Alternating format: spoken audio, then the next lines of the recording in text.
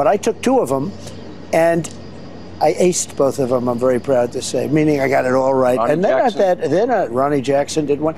They're not that easy. You know, they they show you the first ones are pretty easy, and then you get up. You get into the middle category. Then you get to the end questions. And very few people could answer those questions. They're very, they're actually very tough. I've seen the test. Donald Trump having major cognitive issues again. This when he visited Eagle Pass on the Texas border, and you had President Biden visiting Brownsville at the Texas Mexican border as well. Let me show you the contrast between Trump and President Biden. You saw Donald Trump there making a major part of his platform, bragging about passing multiple cognitive exams. And here Donald Trump talks about an issue that you have languages coming into the country. Again, completely incoherent and some real cognitive issues. Play this clip. Because everybody I speak to says how horrible it is. Nobody explained to me how allowing millions of people from places unknown, from countries unknown, who don't speak languages. We have languages coming into our country. We have nobody that even speaks those languages. They're they're truly foreign languages. Nobody speaks them. And here we have Donald Trump waving across the border to people in Mexico. For real. Play the clip.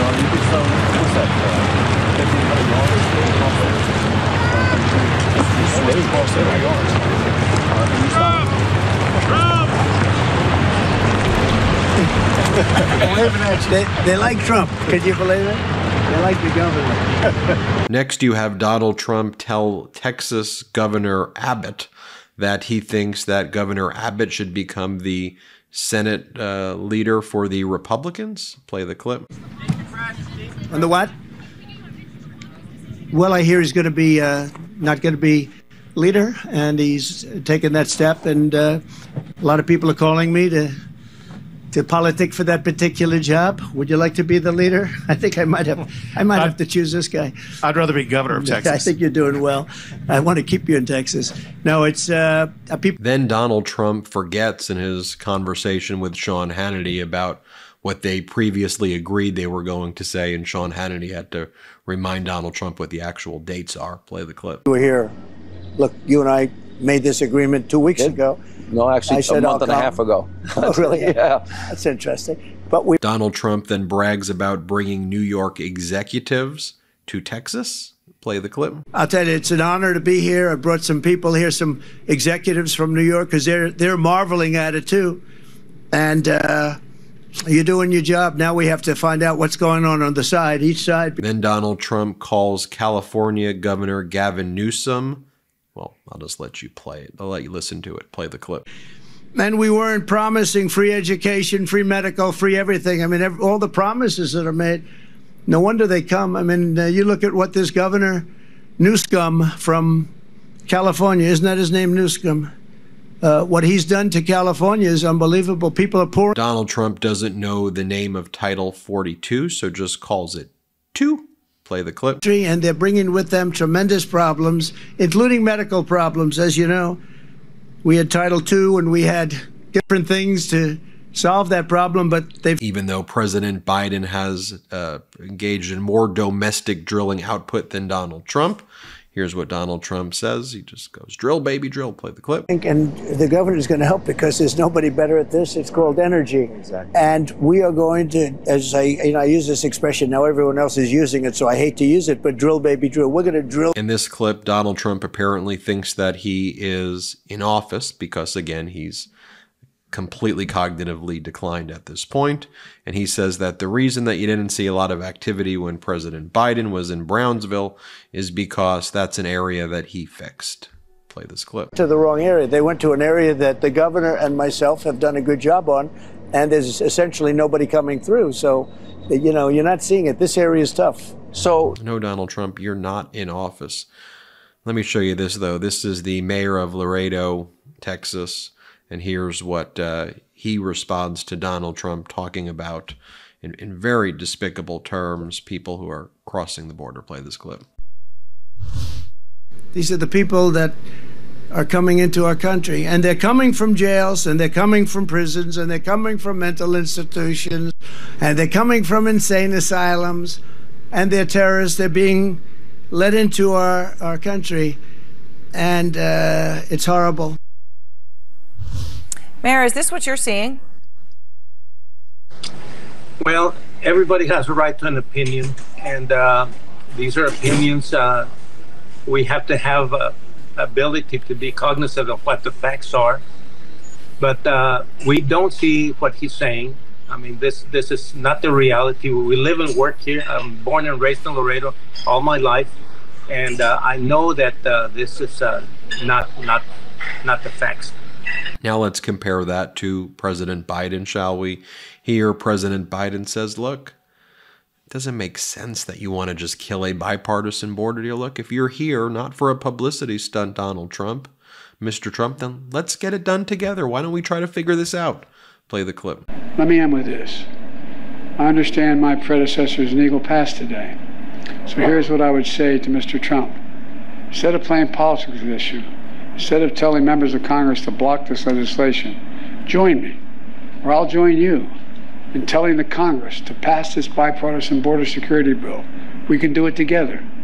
You know, and I know. It's the toughest, most efficient, most effective border security bill this country has ever seen. So instead of playing politics with the issue, why don't we just get together and get it done? Let's remember who the heck we work for. We work for the American people, not the Democratic Party, the Republican Party. We work for the American people. And, and President Biden continues and asks the Senate reconsider the bipartisan border deal that Republicans led the negotiations on. This is what y'all wanted. And I know Donald Trump wants to kill it to cause chaos, but let's fix the problem. Let's be problem solvers. Play the clip. Those issues for the country. And folks here in Brownsville and all along the border know that. We need to have their backs, your backs. I want the people to understand clearly what happened here. This bill was in the United States Senate, was on its way to being passed. Then it was derailed by rank and file politics, rank partisan politics. The U.S. Senate needs to reconsider this bill, and those senators who oppose it need to set politics aside and pass it on merits, not on whether it's going to benefit one party or benefit the other party. It's about whether it benefits the American people. It's what the American people deserve. Here, President Biden says to the Republicans, let's grow some spine. Let's do something for the American people, please. Play the clip. We need to act. It's time for the speakers and some of my Republican friends in Congress who are blocking this bill to show a little spine pass a bipartisan board, bipartisan. As remember, bipartisan. Conservative leaders supported this border security bill. Let's remember who we work for, for God's sake. We work for the American people. Next up, President Biden addresses climate change. He's actually speaking of substantive issues. You got Donald Trump talking about, I passed two cognitive tests. I passed two, I got New York executives here. And then you got President Biden saying, let's, let's address some issues. Play this clip. Square footage. The idea there's no such thing as climate change. I love that, man. I love some of my Neanderthal friends uh, who still think there's no climate change. Well, my administration is going to keep building on the progress we've made fighting climate crisis, and we're going to keep help folks rebuild themselves in the wake of these disasters. And we rebuild to the standards that are up the up to date standards and building codes and the. And then finally, you have President Biden talking about how uh, FEMA has helped Texas out in, under the Biden administration. Play the clip. And anyway, since I took office, FEMA's provided Texas alone over $13 billion. $13 billion in three years in disaster relief after fires and winter storms across the state. And when disasters strike, there's no red state or blue state where I come from. They're just communities and families looking for help. So we're standing with everyone, everyone affected by these wildfires. We're going to continue to help you respond and recover. Now, turn. Finally, I want to show you Eagle Pass resident Jesse Fuentes, what he had to say about this all play the clip. A lot of the people here from Eagle Pass have opinions about the president stopping by. Uh, some of them are for his visit, others are against. Uh, a community group had a press conference today about their thoughts. Take a listen. Mr. Trump, change your ways because what you're doing is you're hurting the people that need the most help. Our community, if you were to study the demographics, you know, it's not easy. It's not easy being on the border. And this unwanted attention, this unwanted militarization of our community is unwelcome. You are not welcome. Anyway, let me know what you think in the comments below. Hit subscribe and let's get to 3 million subscribers together and have a good day. Hey Meidas Mighty, love this report? Continue the conversation by following us on Instagram at Meidas Touch to keep up with the most important news of the day. What are you waiting for? Follow us now.